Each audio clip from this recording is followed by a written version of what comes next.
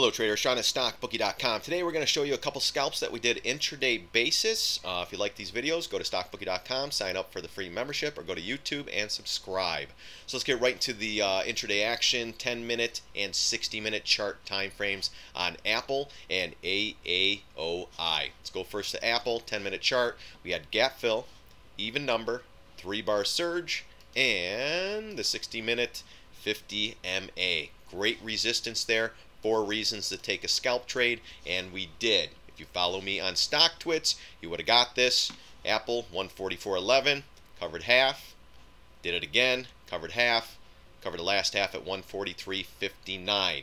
This trade, 1,000 shares, you would have made roughly about $600. So in roughly 20 minutes. So not a bad day for a Apple if you are short in this one. That's the move, guys. I mean, we got in, two bars down, got the hell out. Look at this thing just take off. Light volume prevailed in the markets. Light volume uh, continues on the SPY and all that good stuff. This is what happens. These things are dipping, trying to make a move up. But uh, this was a great scalp, guys. I'll take this all day long. And then the beast, AAOI, guys. People trying to short this one, and you know what? We did. We took the scalp. It was funny. We take the scalp like Tesla, any of the high flyers, and all the bulls come out ripping on us. So we had a nice move up, little consolidation, started moving up into this area. Gap fill 65.89. We also had even number.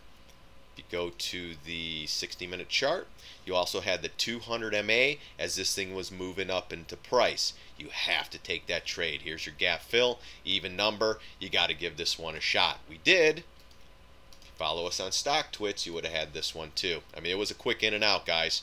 We had to do it. So 66.11, we get in.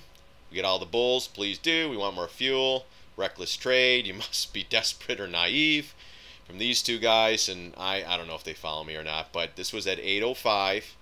A couple minutes later, we covered half at 65.59, thousand shares. Don't forget, we usually do a thousand shares on these. Could have done a little bit more, but that's okay. Thousand was enough for me.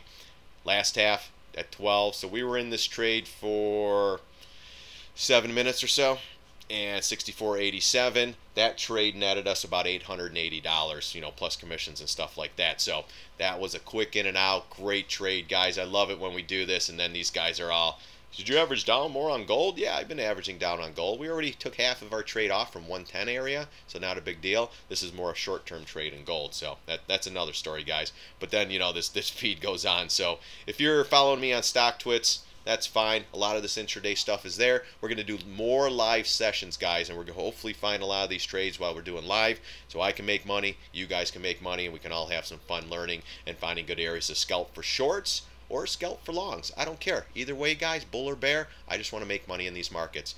All right, that's it for now. Couple scalps by StockBookie.com. I'm John. I'm the main technical uh, analyst here at StockBookie, and uh, come and join the fun, guys. Bring a symbol. We'll take a look at it, and we'll see what uh, what we can do with it. All right, guys. Thanks again for stopping by.